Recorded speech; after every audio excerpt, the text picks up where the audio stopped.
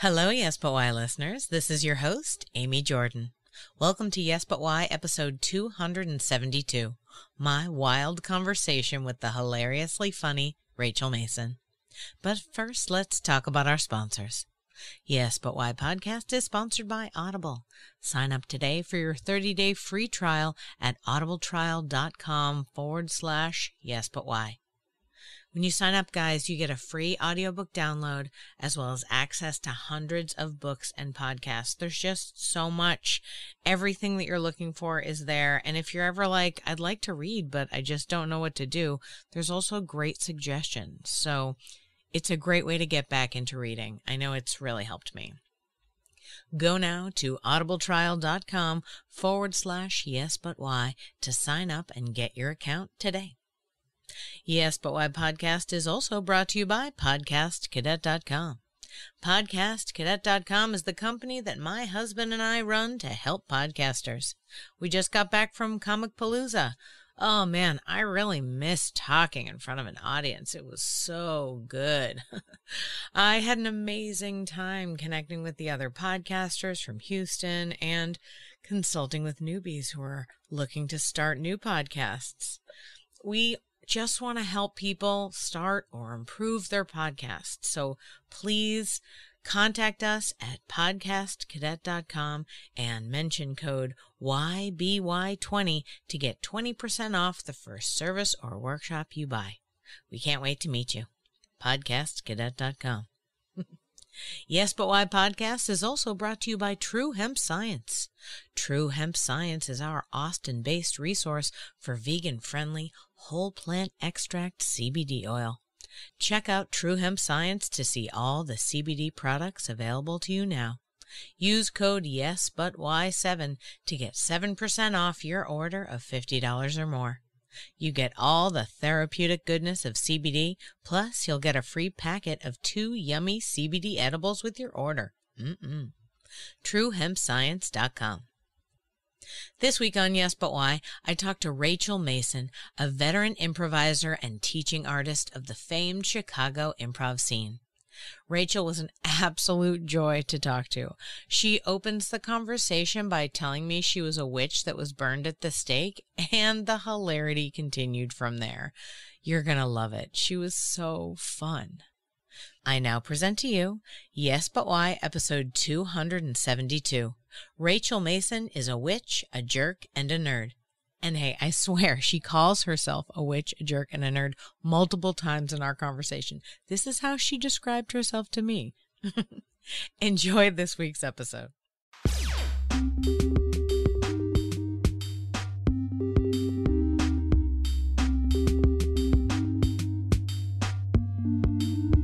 I'm Amy Jordan, and this is Yes, But Why podcast. Yeah.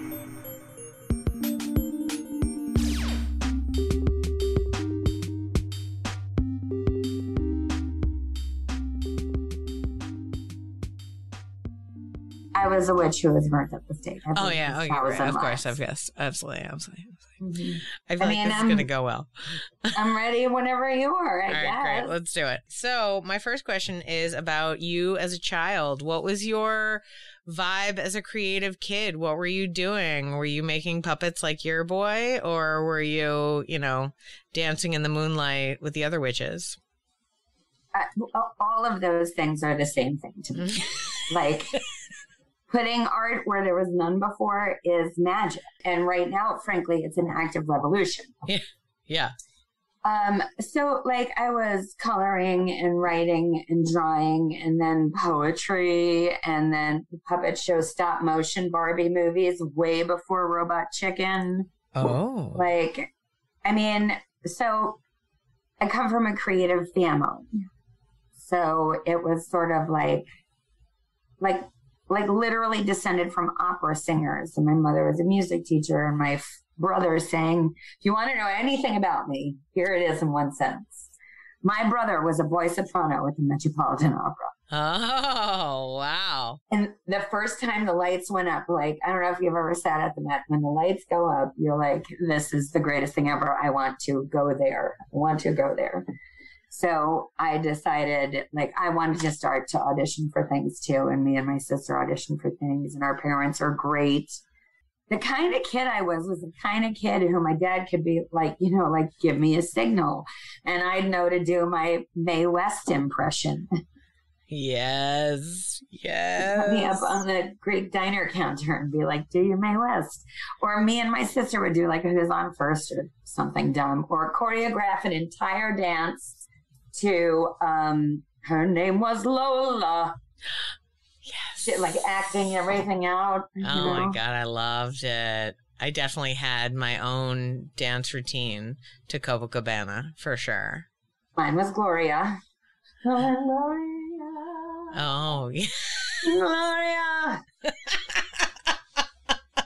and then I like I you know plays and singing and my family could sing in harmony. And then high school plays most dramatic.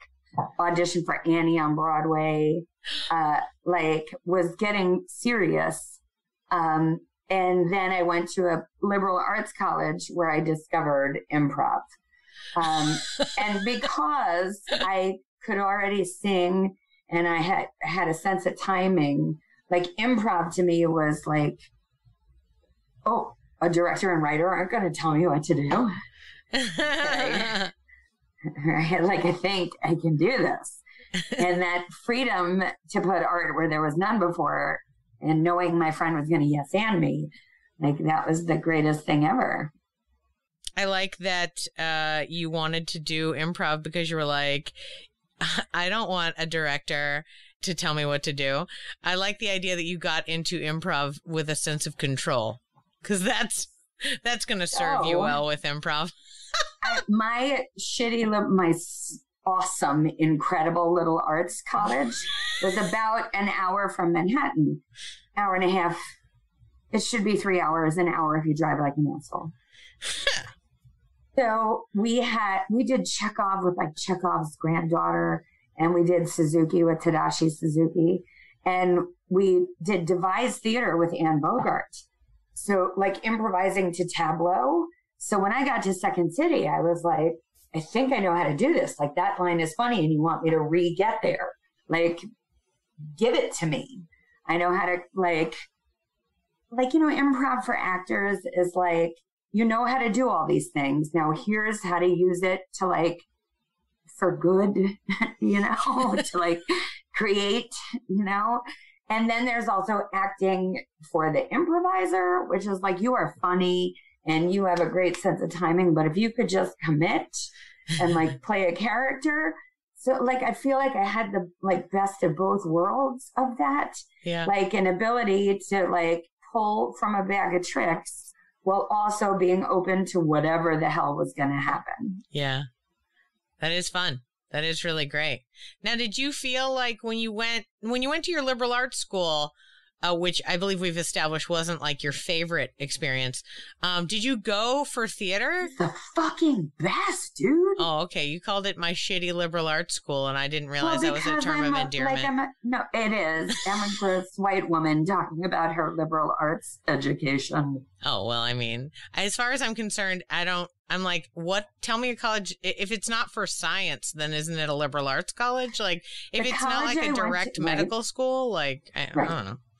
Well, it's like one of those like hippy dippy small liberal arts colleges. Where'd you go? Did you go to Sarah Lawrence? I was not allowed to go there because there was a, a hate crime. So the two biggest fights of my life oh, with my mother about me not getting to go to the New York High School for the Performing Arts. Oh no. Which is where fame happened. Oh yeah. Right? Yeah. And then my second biggest fight was me wanting to go to Sarah Lawrence with my father because when we are there, an elegant, like script somebody had written on the admissions building, straights go home. and my father was like, get the fuck out of here. And I'm like, Dad. They told me to. They Rachael. They and told me. And they were me. so progressive. They really acted like it was a hate crime, not like it was the funniest fucking thing that ever happened. Well, you know, you get to a certain age, things stop being funny. I'm almost there. I'm almost there. We'll get there soon. You know, It's rough. Like it's hard. it's not funny anymore. I don't know. I guess straights go home. I think that's hilarious, but Exactly my point. I also was like, I would have been like, Dad, this is the opportunity for me to tell you a little bit of something about myself. And be like, what? Be like, all right, come on, let me go to the school. I tell Uh-huh. this story all the time, but I'm going to tell you, like, you know, in comedy, we're like too soon, Yes. too soon.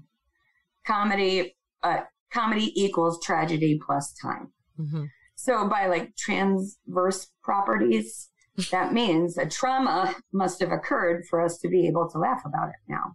Mm. People are like, how do you make fun of 9-11? And I was like, I'm going to tell you a story. I'm a New Yorker. I lost two people that day. My father had to walk home over the Brooklyn Bridge. Um, I was in New York maybe three, four, maybe even two days later. And I see a guy with a t-shirt on the thing. And I, it's like the I love New York. And I'm like, I'm home. I want to support my city. I'm going to go get one of those t-shirts. And that guy turns around and he is holding a t-shirt. And instead of the heart, it is a plane and it is crashing into the NY. And I have never laughed so hard in my life because I was like, that is the epitome of too soon. and, and you had a guy that you could be like, I got this idea. And they were like, all right, Charlie, and like made them that fast for him. Right? That's the that truly is the beauty, in my opinion, is the effort that was made and the guys who like had I to should have bought screen print that. Like Yes. There were some bought one. people late night in a warehouse on Yes, September working on 12th being like, this doing, is like, gonna go making the screen amazingly. heart. Oh right, my with the photo God. exposure. Oh, this looks so good. I'm a genius. like if I wore that T-shirt right now, I think I'd get beat up. um, you think you'd get beat up if you wore like a 9/11 The joke plane thing? No, no, I no. I don't Well, think so. I think we're ready for that. Masks. People beat each up over masks. Masks mean so much more than that. I, I mean, I loved. I, I, I'm. I'm not saying that 9/11 wasn't a big deal, but I'm saying like masks are drawing people's like fam, ripping people's families apart in a like ridiculous. Ridiculousness is at an all time high, is what I mean. Comedy And, is uh, doing very bizarre right now. Nobody I- wants to deal with reality. Right, which is why I feel like the idea of that joke, of the 9 11 joke, might actually hit now. I love that we're 10 minutes into this and we're already making 9 11 jokes. This is, it's good. My It's good. gallows humor knows no bounds. We, I grew up in my family, aside from being opera singers, right? One side of the family, the other side of the family is funeral parlors. Oh my God. So when you were a little kid and you were like hanging out the funeral parlor for the day and there was a body and you were scared, they'd get all the kids together and have them all tell jokes. And the one with the funniest joke would go down and tell the body to like send them off with a laugh. oh, oh my gosh. Oh goodness. hmm Go down and tell the body. I feel like that would be a deep incentive not to tell the funniest joke. I'd be like, Oh no. Oh no. You always wanted to win because the old man would be like, Hey, go kid. It's awesome.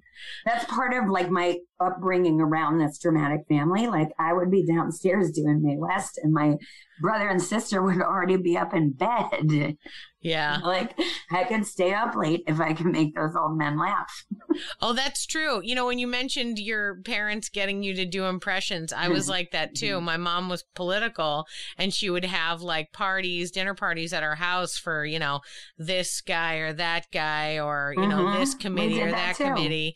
And because of that, I was allowed to stay up just to actually let's be clear at first i snuck out and they'd find me in the center of a group of adults entertaining them and they Me were like too. get to At bed the bar. but At then the bar. One time I fell off a stool and Mario Cuomo caught me. Can't. I feel like I heard that story, but it went differently. So I'm glad it worked out for you. Aw, Oh, no, I'm it was so sorry. Uh, not too soon? I, I mean, Rudy I feel like Giuliani. our. It's Mario Cuomo. Giuliani.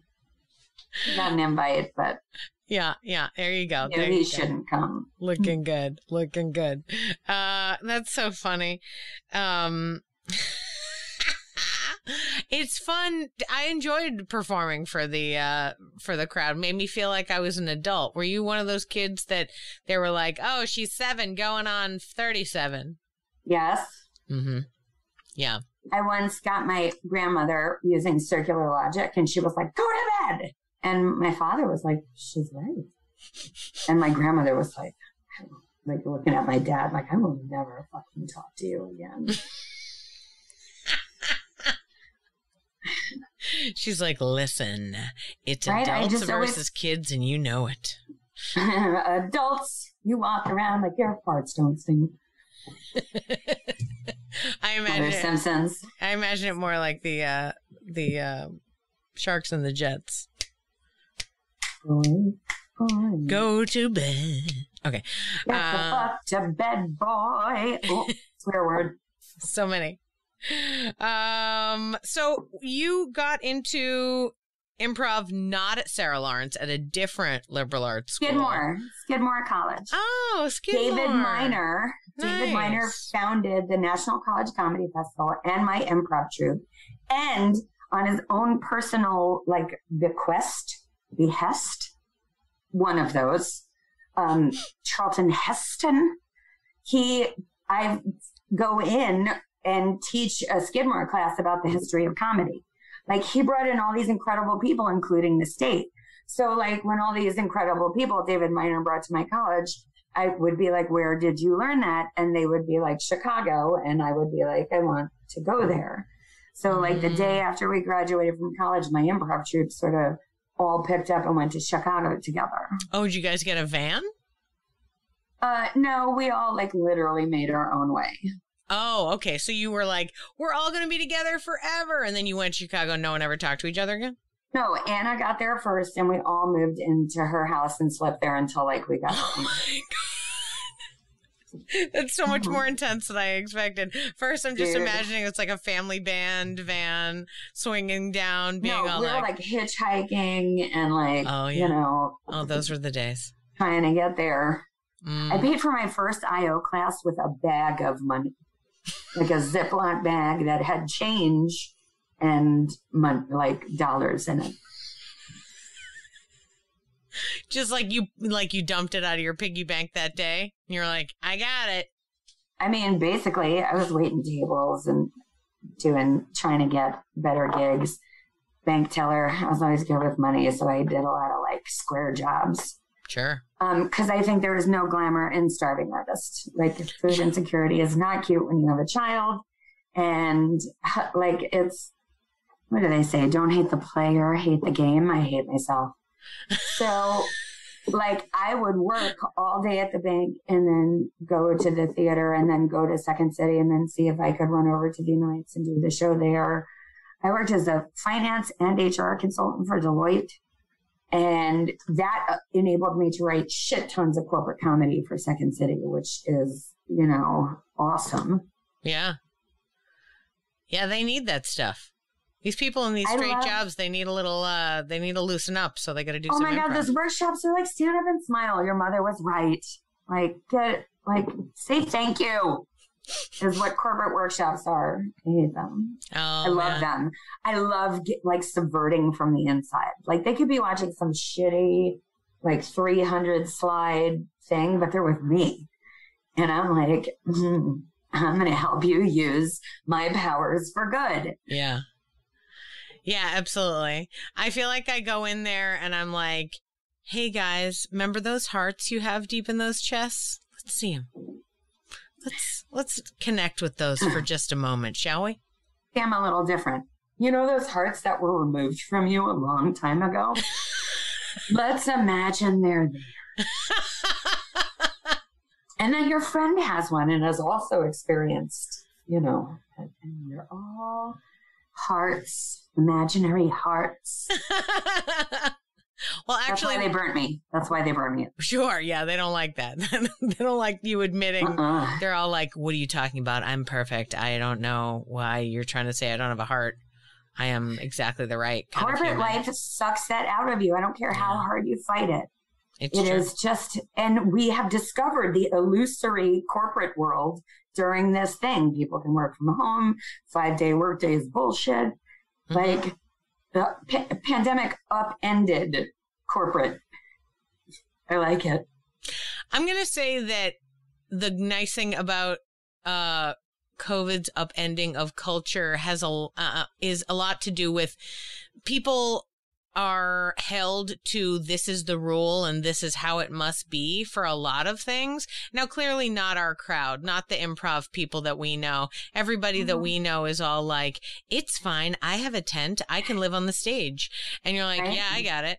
Um, but at the same time I'm time, split the difference and say you learn the rules to Mm. break them. So you know when and how to break them. sure. We don't wantonly go breaking breaking rules. There are social mores. There are um, systems that must be burnt down right now. Yes, yes, definitely. Definitely. And the illusions are going away for sure. For sure. We can live Which our lives a our different way. comedy, which is why our comedy is very weird because everything's raw right now. Mm-hmm. Mm-hmm. Everything's animated because during COVID you can have as many characters and as many voice actors as you need. That's true. Think about think about after Nixon. Like comedy blew up into like this ball of psychedelia. And we like sort of had like a little dark ages. And like whatever, art is about to like ferociously change again. oh yeah. Uh-huh. I think so. Right. I mean, theory? improv improv is an evolving art form, so we have to like evolve with it. Mhm. And because language and society are currently having massive upheavals and reckonings, there's no way our art isn't going to change to reflect that. Definitely. Definitely. I wondered if you had a specific uh, uh, viewpoint with reference to improv. I'm down with the idea do, of the overall of. culture like changing and it being uh, artistically for the better and certainly like uh, almost to harken back to the 9-11 discussion that we had earlier because let's keep talking about that.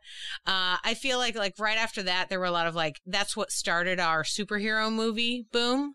Like that's why we have the avengers and all that. The entirety of that was born out of this need for uh heroes right? And so now um i'm fascinated to see the different points of views um that came out of covid because it's not Mhm. like one it's like with 9-11 there was like okay this many people were affected in a direct way Have you watched Bo Burnham yet? Have you watched? yes i was going to even bring it up it's okay so crazy because like, yes it is yeah the perfect example it's of perfect like the most sensitive person making a chronicle of how they feel about the world. Mhm. They say that history is chronicled by the victor. Art is frequently made by people who suffer. yes. And like this kid has been suffering since he was a YouTube tween. hmm Like, to, I, I got to interview him once when I was the Chicago Comedy Examiner. Wow. And it and it was like um so like isn't it kind of your fantasy to travel the world and tell comedy? And he's like absolutely not. I'm lonely. I'm too young to go out and hang out with even my own staff like I, all i do is sit with my thoughts and i was like oh so like watching him evolve watching where this special took off from the last one and how like the man he's become forgive that i'm not trying to be sexual No, not at all. He But, turns like- 30 in the middle of the special. That I think is such a big deal. Like Yes. it's such a big deal It's because it's milestone. it's a huge milestone and it also is a milestone that usually in our society means something in a big way whereas now in in this generation it doesn't 30 days isn't anything anymore like I just don't think that that's the like breaking point the way it used to be eh, for lots of things. But Mhm. but but for him in that moment, even any birthday, but that particular milestone one where he's like, I'm alone, I'm dealing with this, I'm in the middle of this crisis, and having to deal with it all again, being re-traumatized. So transitive property, like think about Hannah Gadsby. When I was done watching um, Nanette, I was like, like my mouth was open, and my husband was like, "What?" I was like, "I think I just watched something very important." Mhm. And like hers being like my trauma becomes your comedy and this is what i leave out. And and here's how i reconstruct it. I was like ooh she just exposed us. Yeah. Yeah she just And- gave a free masterclass you guys. I hope you were taking notes. Is forcing an evolution in comedy. And kids like bo burnham or your friend who like rode the doctor bubble of improv like you know being able to crest that thing which improv has always been able to do because again we are the most sensitive people pulling from ourselves at any point in history. Like, we can only pull from ourselves to render how we feel about the world wow you're super deep i like it. i hate it i hate it i'm so sorry no it's okay you're just been teaching for a while so you're like prepared to turn everything into like beautiful wisdom that's the No, that's the no, sweet I'm a- improviser in you I'm a jerk and a nerd, but I do believe I'm a witch who died many years ago. hmm hmm I do believe that, like, you call your scene partner your friend, and it is a gift because it's received with love. I am like, like, I guess it's because I grew up making music with my family that, like, anytime we get to make music together, it is like irresistible music, putting up a show like, like I wasted four years studying playwriting when six strangers can get one suggestion and make up a play on the spot. you know, Yeah. Yeah, but uh you know, I've definitely seen that done not well. So I think what you mean about people being friends is required. Like you Well, need to have that connection for the play to come out properly, for it to be be like an good. asshole and agree. I'm gonna be. I'm gonna be a jerk and a nerd and a witch and be like, there are crafts people and there are artisans, Mm.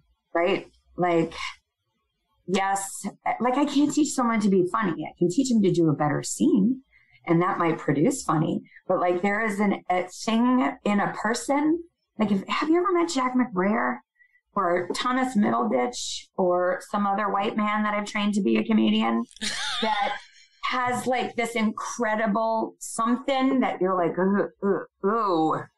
You know what I mean about the X Factor? Yeah. No, I totally understand. I've taught a lot, a lot of people, so I understand that some people mm, are do it. some people got it and some people are are going through the motions. But here's the thing: with the in a team, part- go ahead.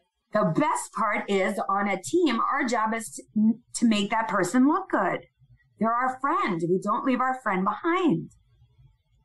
Also, and I'm a level one teacher, so I'm like real hippy dippy about this, but like I believe that we're all just different colors in the crayon box and like so we have different uses, right? So like, yeah, you've got those people who are like wickedly funny and they like make the the good jokes, and then you have the other people who are like serving them up metaphor. Like just serving them up to Yes. do the Yes. fun jokes in that moment and Yes. um and you know some people are good at that and some people aren't you know even in the idea of ego in in improv ego doesn't serve you but that doesn't mean that people don't still have them Ego is born of fear, I think, and fear is good. Fear like keeps us alive. Fear isn't nervousness. Fear is excitement at the possibility, which I think keeps the joy in our art form. I'm sorry, tangent. i'm into it take take your tangent Um, like I think the real difference between an experienced and mature improviser is like neither one of us knows what's going to happen next. I just don't fucking care. like I can't wait to see what's going to happen next, as opposed to like what could happen next and what should I do. yeah I've learned that through reps and reps alone, craft becomes art. oh interesting I mean, you know, when you're a bodybuilder, like if you can, like you put more weight on and you do it again until that's easy and you add more weight. Hmm. Speaking of Salem, have you ever been to the Salem Witch Museum? There's a lady under rocks and there's a guy going, more weight. And my sister and I always say that when a man is mansplaining to us. Weight. my sister is also a witch. Sure, sure, absolutely. It's lucky that you guys both remembered this past life of yours. she uh, was in her college improv troupe with TJ Miller. Mm, at Sarah Lawrence. Uh, where did they go? George Washington. Sure. I was gonna stir stir the pot with your with your mom, be like, yeah, she did let my sister go to Sarah Lawrence. They were like, well, well it's fine now since we've got one in Skidmore. so I teach improv. My brother is a tattoo artist, and my sister does uh, art therapy for um, se- like severely disabled children. So my parents got three kids who managed to eke out a living in the arts because they were so very supportive and allowed us to fail and take risks, which is like you can't teach somebody that like that is reps. So like when I got to Chicago, ego born of fear, like people would, the green room would be like billowing pot smoke and music and laughter and people would be like, hmm. And I was the one who'd go and let myself in and be like, I smell pot. Who's got the joint? That's actually how I've gotten involved in a lot of crazy. That's how I've met famous people. It's like walking up to the crowd, yeah. like, "What's up?" Yeah. and you know, at Second City, you can meet famous people all the time.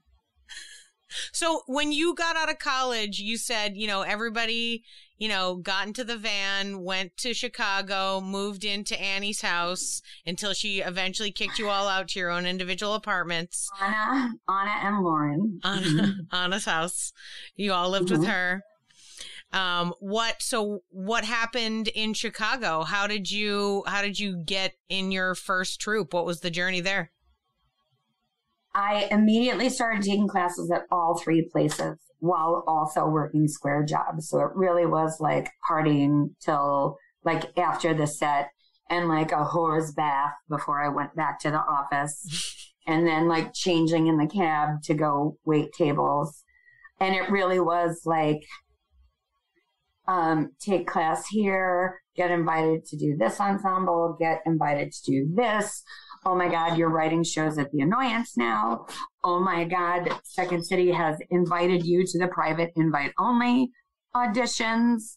And you've already done Jane, Baby Wants Candy, Armando, like you're, you know, like I, this is what I mean about reps and like good work.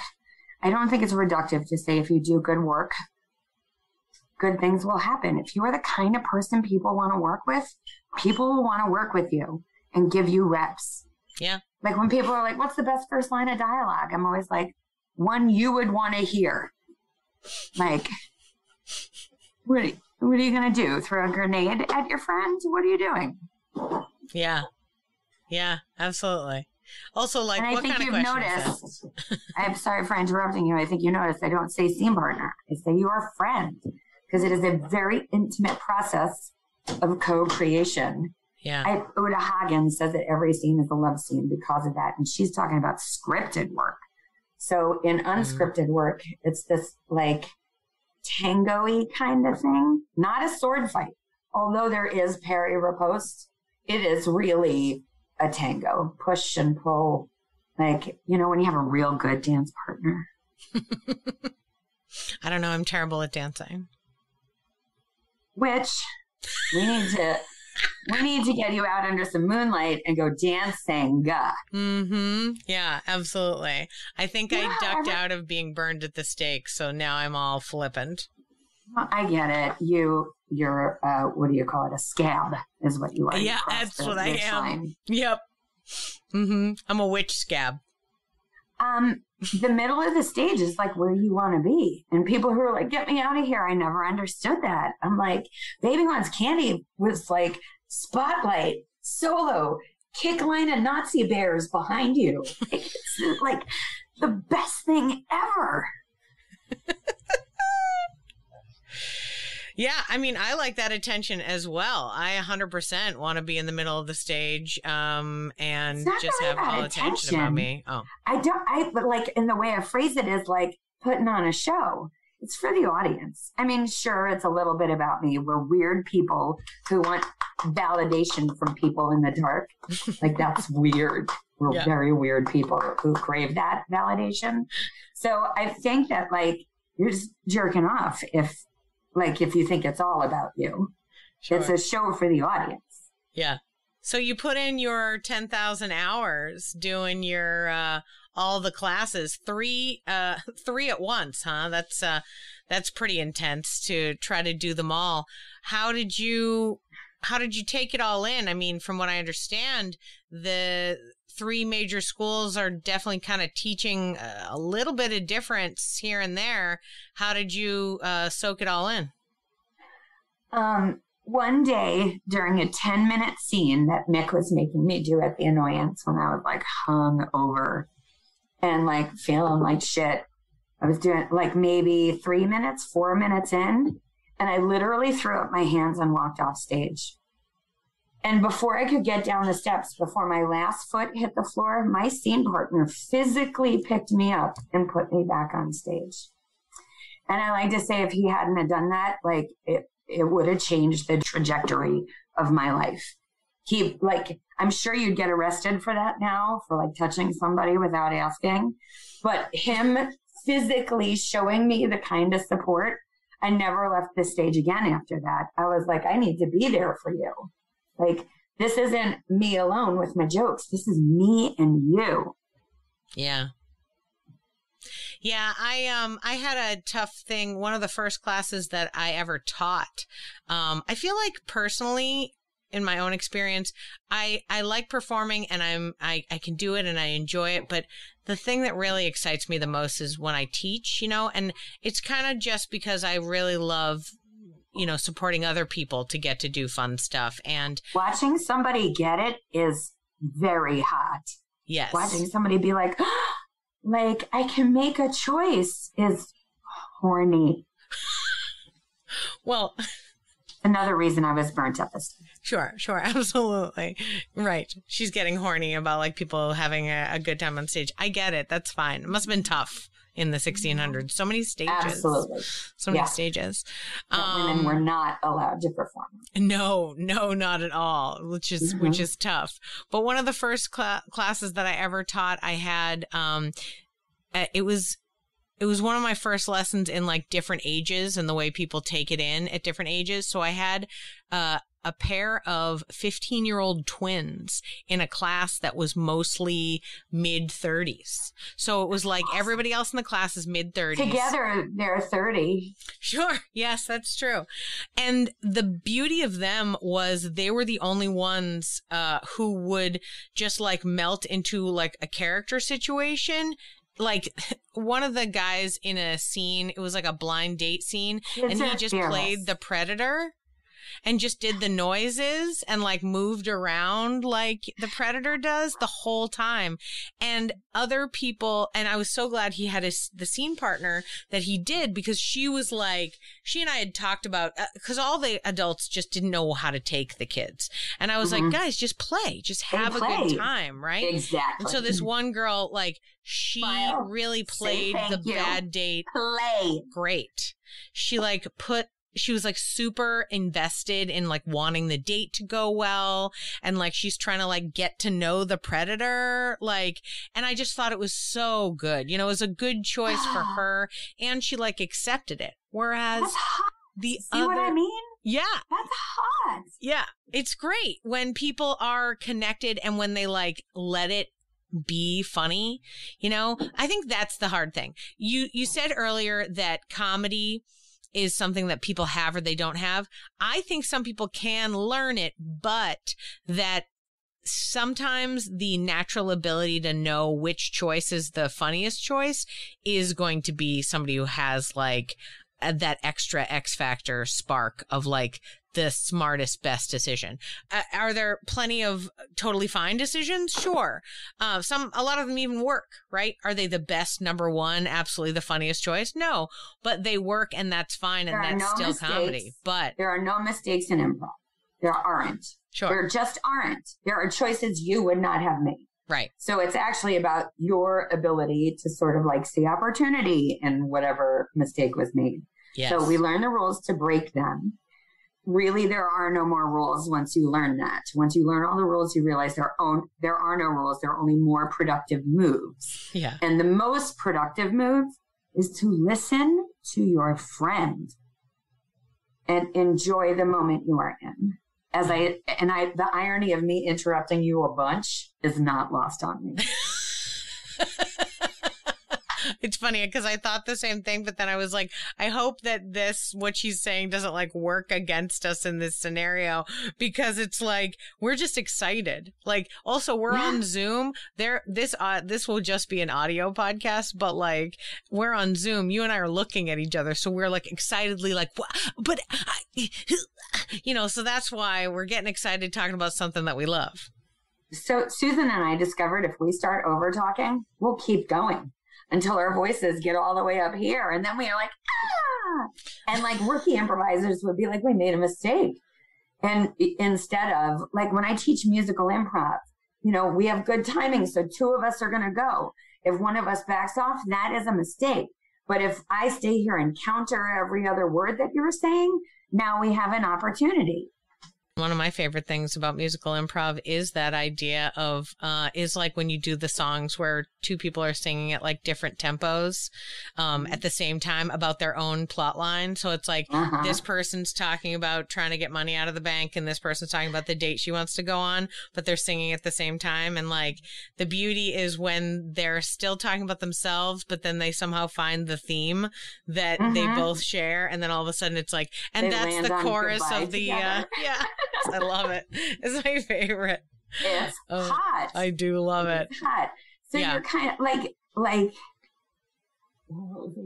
it's sort of like why would we telegraph our make believe is not going well? Right. That's I feel like people do like, that all the time though. yeah, I'll be a predator. Like you know? and but I, I don't understand. This happens to me in a lot of scenarios I am with you when it comes to this idea of like, I don't need anyone to know that I don't think things are going well, right? Ever in my whole life, not just in improv, but like forever. Like if I'm losing a job, I'm going to be all like, oh, you know what? This was a great idea. You are right for firing me. Like, uh, because it's just like it's not going to help, right? Me being upset to this person, they're not going to change their mind. Or when somebody breaks up with you, you know what I mean? Like you're not going to be like, could I convince you otherwise? They're actively breaking it up. It's happening. Let it mm-hmm. go, right? So in the same way, it's like, I don't need, and the other part for me is like, improv is being made up we need some level of professionalism, right? So there's no professionalism in the idea that everything could be made up. Of course, because it's wild. And that's fine. I love some wild, but we need the balance of professionalism. And the professionalism is not letting them see through the mm-hmm. proverbial curtain of what's going on with you and your team. That's art and craft right there, right? I've had enough reps to be like, oh, I'm in this kind of a hole. This is how I get out. Yes. Yes. And the idea that, you know, we don't need the audience to know that like maybe the troupe had a weird discussion right before or whatever. Or like this guy doesn't like that guy or whatever. That's not the audience. The audience should never know that. Never. Never, never, never. I uh, I tell them when you guys are doing your show. So again, I'm teaching level one, so I'm like teaching them how to be on stage. Like stand with your bodies facing this way. Uh, Please do make not sure use do this, this hand. You'll notice that you, where you stand is near the audience, and you might be have your back to them. Move out of the way so they can see the stage. How about that, guys? But the other thing that I always tell them is you're going to stand on the side of the stage and we're all going to look at you. So the whole time you're watching any scene, I want you to watch that scene like it's your favorite scene you've ever seen in your whole life. I want you to be all like, every decision they have made is amazing and I can't wait to see another one, right? That's what your face says. I don't care if inside your head you're like, Really, Lorraine? That's what you're gonna do? That's the character again? Seriously, a frog, John? Again? Like, I don't care if that's what's going through in your brain. I want your face to say like, best choices, love these guys. Who's having a great time? Me. Like, cause that's you know part of is? the show. The worst is during an audition when somebody does a pretty good scene and you're like, that kid's all right. And then that kid, as soon as they're done with the scene, is like, as they walk back to the wall and you're like, oh, dude. Oh, they're like mad at themselves. Yeah. You're not ready. You're not ready. Yeah. You're two in your head. You're thinking about something. You're showing me that you're not. Right, uh, like he thought the scene was bad, but I am looking at different things, right? Yeah. Like I could have thought that scene was great. So like telegraphing that, like just walk, you don't have to be like, yeah, but like just walk back to the wall and turn around. My favorite thing to scream at students is no one paid to see you in neutral, not even on the side of the stage. um, why are you not why are you you not leading like a chorus line on broadway like a just a loud choreographer in the background ladies i want to see smiles and if i don't see them you're getting whipped tonight it's like what throw out your hands, stick out your tush. That's what we call doing the French mistake. oh my god get it done I mean, whatever. I like it. that's I what like it. what happens when you have opera singers. Like the sh- I'm going to tell you about the show must go on, and you're going to hate this story. Uh, when my mother was dying, I was a friend of mine was like, "You should join our improv troupe. You're funny," and I was like, "Really?" Because nothing is funny right now. I hate everything. And they were like, "Come do improv," and I start doing improv, and I say that improv like saved my life. Somebody saw me in an improv show singing because that, you know, was my secret skill. And they're like, Hey, I'm forming a jazz ensemble.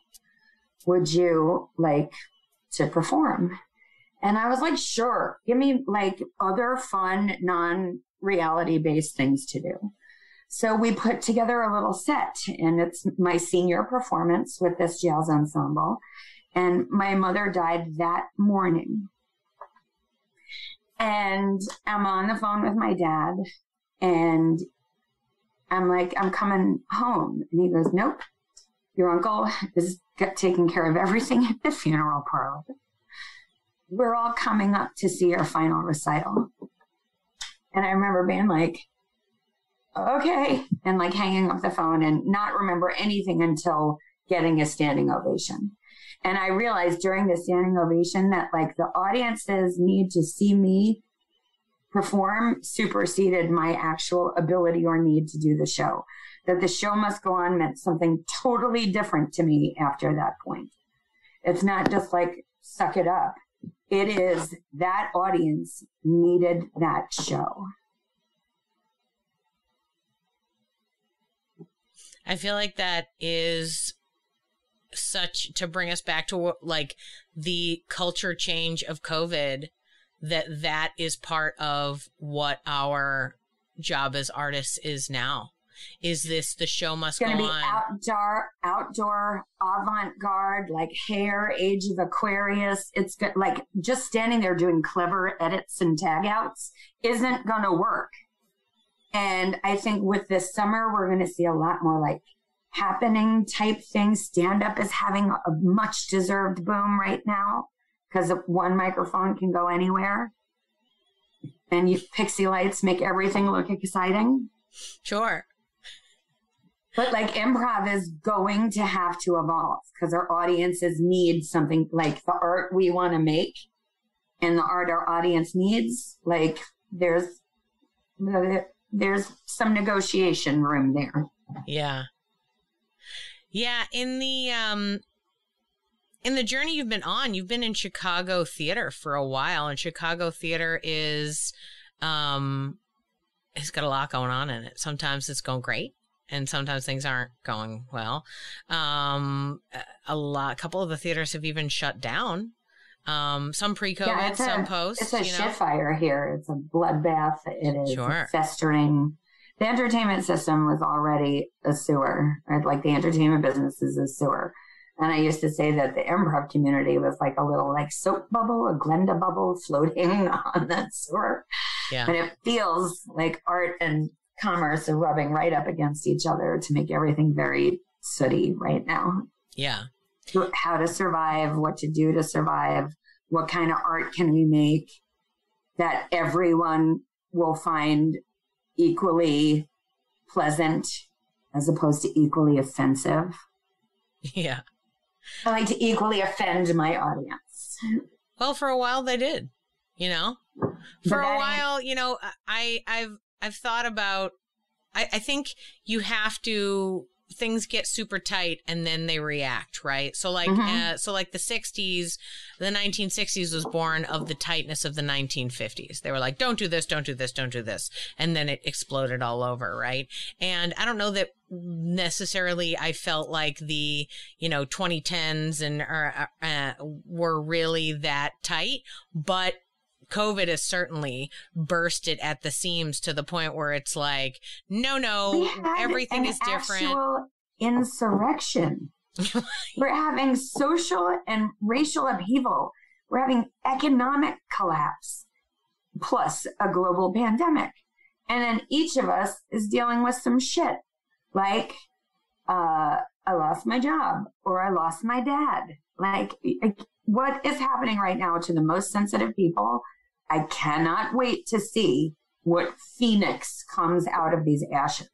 Like yeah. I said before, if Bo Burnham gives me hope for this evolution. I would like to give Bo Burnham a hug. I think he needs he needs a couple of hugs.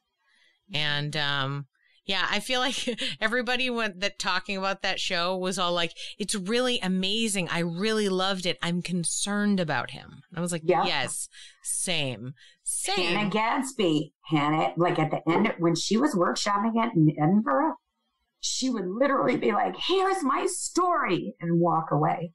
And the audience would be like,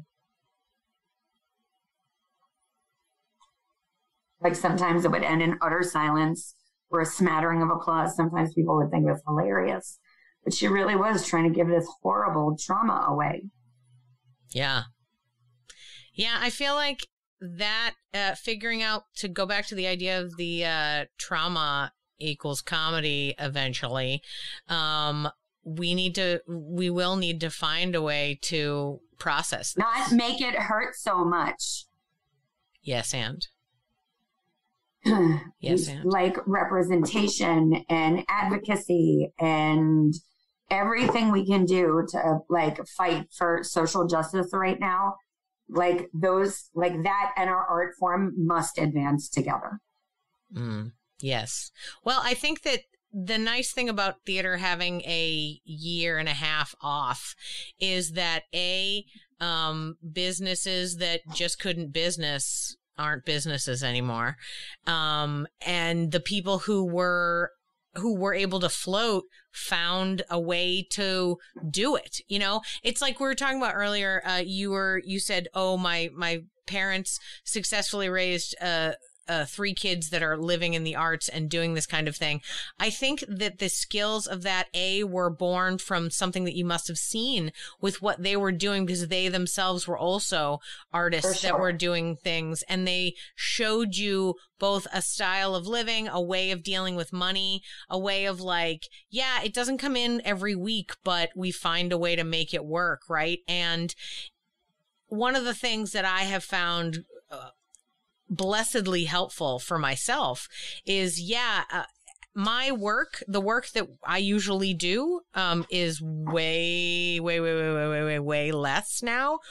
But for some reason, the skills that I had over being freelance for the last 10 years and juggling bills and doing various things was quite a helpful skill to have developed yeah. in this moment, right? And yeah.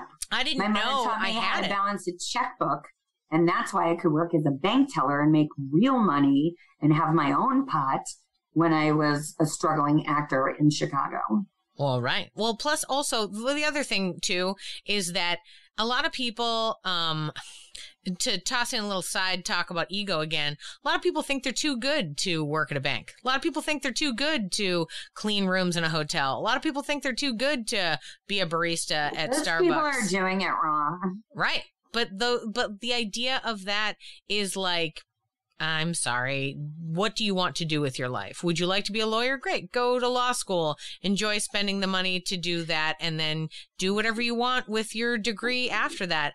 But I'd like to be an artist and, uh, they don't have like an art company where I can go and, and clock in and then do some art and then leave, uh, you know, when the whistle blows. That's not actually how that works. So I had to figure out ways to do it. And also, like, well, this is a. I studied Shakespeare. I wanted to be a dramaturg.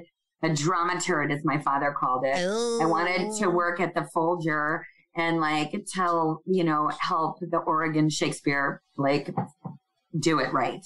And instead, I teach uh, master's film students comedy and the history of satire at DePaul University. Like, who knew? Rachael, I don't know if you understand how similar those two things are. Like those actually that was what Shakespeare was trying to do. And then everybody was like, Shakespeare was never not writing satire. Mhm. And that is because up here were the lords and ladies, and down here were the groundlings. So he had to write one play to equally offend both audiences. And his skill was making these people think it was really a joke about these people. yeah. Everything Shakespeare wrote was satire Mhm. because of the virtue of his audience. Not to mention the Like- fact that like people act like he's all highfalutin now, but like You know- a dirty witch. Yeah. I mean, it was like it was like terrible, you know, it was like the Eric Andre show. You know what I mean? Like he's like burning the desk and like kicking people in the balls. Like that's what Shakespeare pursued by bear. Exit yeah. pursued by bear. Yeah. Bitch. If that's not written by some like raunchy stand-up comic, I don't know what is. Wh- Um, what, where does a wasp wear his tail? In his tongue. No, his tail. What, my tongue and your tail? Is that an ass eating joke in the second scene of Taming of the Shrew? I mean, Yes, it is. if that play isn't about S&M, I don't know what it's about. Okay? They love each other. They love wrestling each other. They're like They super into it, and everyone's like, "It's so weird. Is shouldn't you be mad?" She's not. mad. everyone everyone wants to say that like Romeo and Juliet are the greatest love story, and I'm always like, they died. Katerina and Petruchio get to live together. Everything shitty you want to say about sexism and meow meow, we get to put on Bianca. Like like and her three suitors, like the B plot, which is also revolutionary. Shakespeare, there's almost a C plot in that play as well, which is like unheard of. Christopher Sly, do you know the little playlet at the beginning where it's like a man, they convince him he's a lord and tell him how to watch the play, which is actually Shakespeare helping an audience transition from secular to non secular. Like using this guy to educate him and be like, don't, you know, this is just a funny play. I, I'm sorry, I'm on a tangent now. I love a good Shakespeare tangent. Let's do it. I uh Shakespeare I- knew something about comedy that it was about like like isn't it funny that two Italians are wrestling? Look at this fucking sad ass Dutch dude.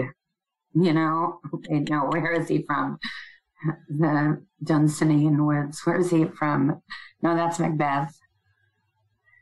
Where's Hamlet from? yeah, he's a Dane. Denmark. Denmark. Denmark, of course. Yes, exactly. You're gonna be sad in Denmark? Mm, Boo-hoo. like I love it. All I'm saying is, I'm pretty sure your education uh, suited you well. It seemed to put you exactly where you needed to be. Learning about Shakespeare, though, was kind of like what we all did. Like, I also went to college where all they talked about was Shakespeare.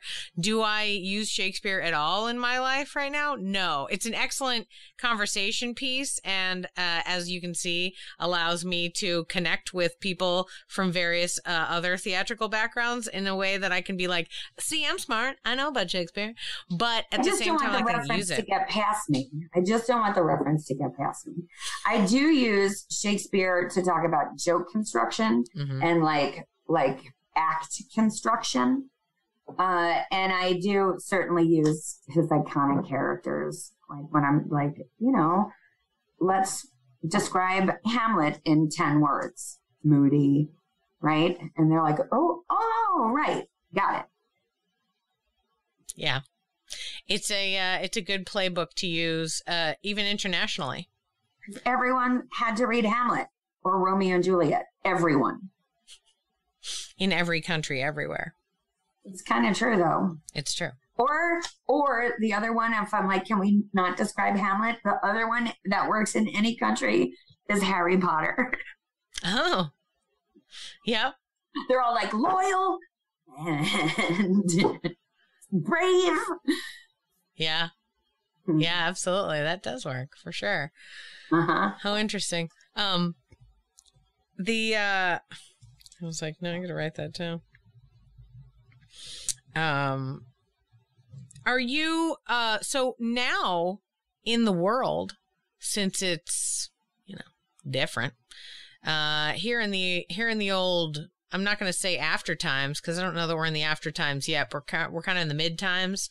And um, how is your? Um, we've talked a lot about how you did performing and you're really active in your theaters and you're. We've established your teaching, but like now, how does it manifest? Like.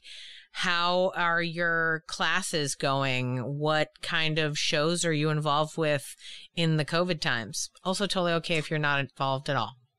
Um, well, there was something you said before, like everything stopped. And what I was going to say is it didn't. Lots of people stayed online and lots of actors who are finally sort of dealing with storytelling and lighting, like the unprecedented age of dealing with like the close up. Have you ever been in a film set you know, the director has like a little monitor. Otherwise, it's like a big wide shot. Like it's mm like getting to see that little monitor, knowing how to frame yourself. Yes. So I think that anyone who is like, fuck it, I'll give online a chance is way ahead of the game because they can now present to a camera and an audience. If anything, we're going to have to get them to play bigger, which is everything we were trying to stop before this thing. um, so uh, I am teaching uh, for universities and for theaters here in Chicago. I um, do workshops, like specialty workshops all the time. Like groups will just reach out to me and be like, hey, can you coach us for two hours? And I love that kind of stuff. Um, me and Messing have a workshop we're doing together. Like, I'm so lucky to be attached to Susan Messing because they go looking for her and she's like, and I've got Rachael and they're like, yay. So we like headline festivals all over the place and people ask her to do shows and she says yes if I can bring Rachael.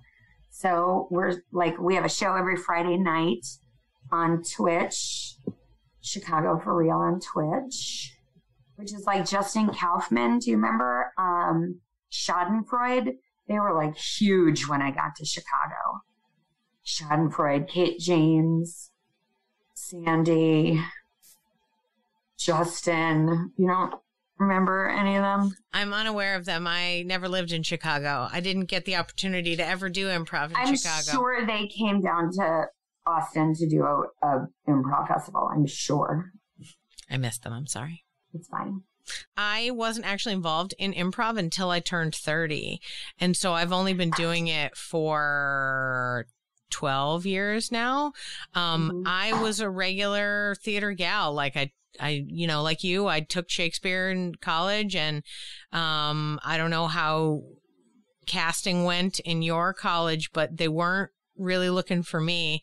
So I was the stage manager and that led to a short lived stage management career in my early twenties in New York City, um, for a while before I was like, no, I want to be on stage. And I did a bunch of weird open mics with people like Noel Deneen and the Art Stars oh, before weird. I moved back to Texas, which is where I went to college. I, I moved back and then, um, and then I got into improv here. But it took me forever, right? I didn't know it was there to the point where like I often make jokes that it was like, yeah, I could have gone to UCB like in year one. That would have been fun. I was there. Right? I was literally living there at the time. Yeah. I'm gonna be honest, I probably met them around Sure. And it was like, who are these dum dums? Forget it. I won't do it. And I was like, I'll go back to my little crowd and we're going to do weird performance art. And that Yay. was lovely, but that's okay. It was a good journey and it led me to improv in my own way. Um, that unfortunately is my long story about why I don't know very many improv references. Um, people are always like, oh, this group and that group. And I try to nod and smile to make them be like, oh, yeah, I totally know what you're talking about. But I don't really know that much um, about what's going on. I would love to. I don't know. I, I, would love for there to be a, a larger historical document about the beginnings and and development of improv in the U.S. Improv Nation. Um, but Sam Wasson. Is that the best book you found? No, it's incredibly male and white, but it is a very in depth. Also, the Second City Almanac of Improvisation and Something Wonderful Right Away, Jeffrey Sweet. And then there is My Days and Nights at the Second City. And I can't remember who wrote that one, but that's a good one.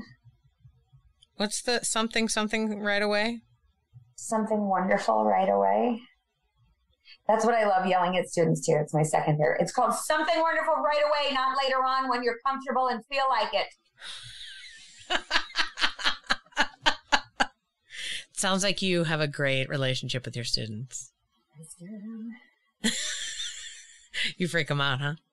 No, are you kidding? Like I am well, well, yes, because I was the only woman in the room for a long time. So yes, I scared them because they were not used to a woman like me.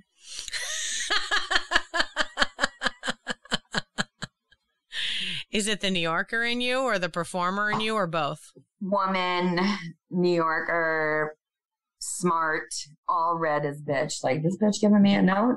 Yeah yes, what you just said is racist. Please get off the stage. Which nerd jerk? Yeah, I, I gotcha. I gotcha. It's the uh, it's the uh, trio of uh, of wildness that uh, you bring to the party. I like that.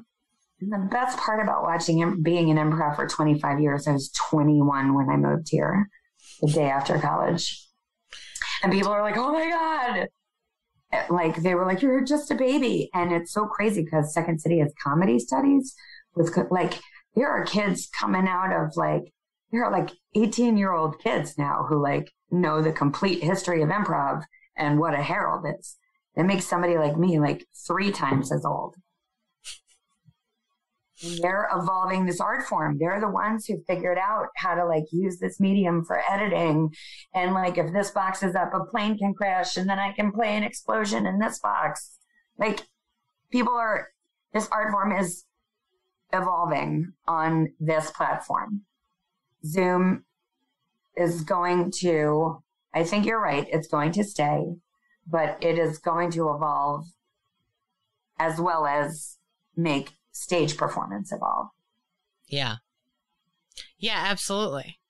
You know, to that end, and the fact that we've established that we both know Noel Deneen, did you ever see his um, on stage? Maybe not. It was in New York, but I don't know when you were there. Uh, Charlie Victor Romeo. Yes, that I saw it here before he went there. Mm-hmm. Oh, like it was the stage play of yeah. it. Yes. Yes. It being like plane crashes. It's about plane crashes. You witness plane crashes, but they're literally sitting on stage in a like inert, um, thing that looks like a cockpit, right? But it's mm-hmm. really amazing and they make you really feel the whole experience and they build that. And I feel like, and also then when it became the movie, I was like, it's interesting how I felt more visceral in the room. I mean, I guess it's not that surprising, that's but the thing. Stage is a wide shot, so right. you can decide where to put your eye. Film is very carefully curated yeah. imagery. But I think that shows like Charlie Victor Romeo will be a similar, similar to what comes out. Something Agreed. that brings the film world onto stage also establishes that vis- uh, that visceral action and the visual tightness. Like hamilton. Yeah.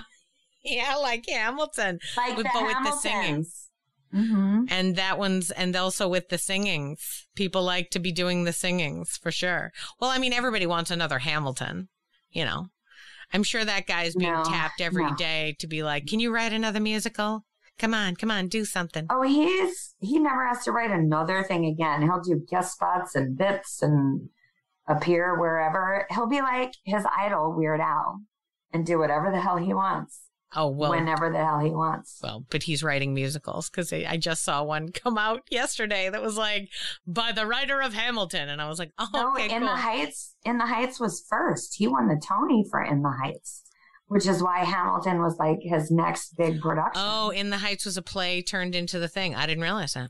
Yeah. Yeah. Oh man. Well, anyway, you know, he's great and everybody, you know, he can work however way he wants. If he wants to write musicals forever, I'm going to allow it. Word. Allow it. Hard, Since they came yes. to us to ask if we Motion should... carried. I can't even remember his name for some reason right now. Lin Manuel Miranda. Lin Manuel Miranda, yes. Lovely artist. To me, he is like the little skinny kid on Sesame Street doing the difference between like hard G and soft G. Yep. Yep. He's on Electric Company too, which I Yeah, watch with my yeah. kid now. Mm-hmm. Yep. Oh, he's all over that place. Absolutely. Well, that's actually the beauty of uh, when I having a little kid and watching kids shows. It's all comedians, and I love it. That's my favorite. If anybody's like, "Hey, You how am I going to do comedy my whole life?" It's like, "Oh, well, what you're going to do is you're going to do hard, rough comedy in your 20s, and then you're going to get older and have kids, and then you're going to do comedy for kids that's equally as funny and probably pays you Odd more." Squad is the funniest show on television. Hey, all right, yeah. Oh, there's horrible such good stuff. history. I would like a job writing for horrible history. Hilarious. Yeah. It, there's good stuff. There's amazing, hilarious, wonderful things for children, and it's a great path for comedians to go down. Um, One time I fell asleep and I was watching Rick and Morty and my kid loves cartoons. And I can tell he's like, Mama. And I can tell he's been watching for a little while. He's holding his like teddy bear or whatever. He goes, Mama, I do not like this show. I was like, good. It's not for, you know, it's not for you. But even if you don't sit next to your kid during SpongeBob, you have to be like, that is a terrible choice, Patrick. And SpongeBob just made terrible choice. And they will have no ramifications. Yeah. You cannot do that. yeah. That's funny. My husband doesn't want my child to watch SpongeBob. Of all the things, we watch You have to sit terrible next things. to your kid because you're going to be like, no, you shouldn't just jump into a pit. no, you shouldn't. Have you ever watched Yo Gabba Gabba? It's the freaking best. I haven't. No. Okay, you need to watch Yo Gabba Gabba. It's going to change your life. Okay. They uh, like Mark Mothersbaugh is on it from Devo Oh. and Biz Markie and like the Shins. Like it's rock Oh. and roll and fun and like it's just it's like that. If HR Pufnstuf was by the people who smoked weed for their children, then I would say that Yo Gabba Gabba was made by the people who took ecstasy for their children. Great. I love it. Oh my God. Man, we have had some wild tangents in this conversation. We are gone down some weird topics and I, I, like it. apologize. I apologize. Oh, no. I love this conversation. We've had a lovely time. I've enjoyed my time with you. But I am going to wrap it up. And with that, I'm going to say my final question is about what your we've talked about how you're working on performing and teaching with um, Susan and you're doing Chicago for real what is the is that what is exciting your creative spark right now like what is keeping the fires burning in you to move forward to keep it going to like you're going to be an artist for your whole life like how are you buoying yourself during this time There's a couple of things. Me and Susan are writing a ton. I am doing some curriculum creation right now, which is always super horny to me. Um, I am writing a screenplay right now with a writers group, which is real fun. And uh, this Friday night show that we do is with Rich Sohn and Neil Dundati, who are the Dingleberries, and Susan and I are the boys. So we're called the Dingle Boys. And our show is called High Society. We like to say it's The View, uh, but co ed and on edibles. It is a, an incredible, wonderful, like, we just sit and talk and do bits. It's almost like a living room, you know, living room form where like we sit and talk and then pop up to do bits. It's almost like that. I love it. That's so nice. I'm glad that you have had the opportunity during this time to continuously connect with your creative friends. I know a lot of people have felt distant from their people, but I can see that you've had some nice times working with uh, your friends, and that's really wonderful. And I'm really glad. You gotta make it happen. You yeah. gotta make it happen because, like, everyone is like, "Where is everyone?" So you, like, you, re- you have to reach out. Like, this is a time when we all have to like do wellness checks on each other and reach out to people. Yeah. And we, Susan and I decided we like weren't going to wait. Like we were going to like be like, Hey, do you want to do a thing? Yeah. That's so great. You're clearly a strong woman and an excellent role model to everyone who you teach. I uh, I appreciate you talking to me. It has been a joy and Thanks, so much fun. Thank you so much for being on the podcast. It is my honor and pleasure.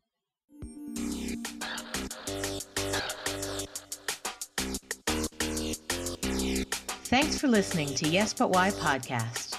Check out all our episodes on yesbutwhypodcast.com or check out all the content on our network, HC Universal, at hcuniversalnetwork.com.